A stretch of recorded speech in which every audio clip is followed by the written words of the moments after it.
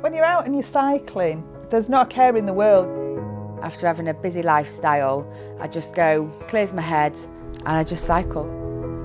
I quite like everything about Breeze.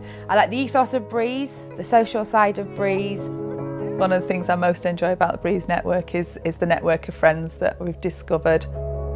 I go out twice a week, regularly exercising. We've raised money for charity, so all these things are things that have made cycling more than just cycling. I think that the Breeze 100k challenge event is achievable, you can work towards it, and I think it is a great achievement for anybody.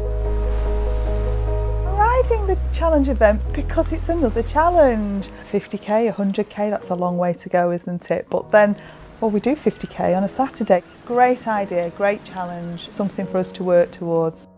Do it, sign up.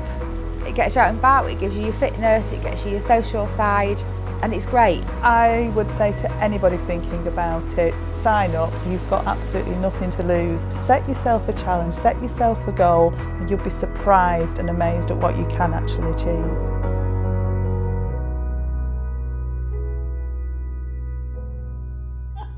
You'll do 100k easy. All right then, I'll do the 100k with you. Got that on camera.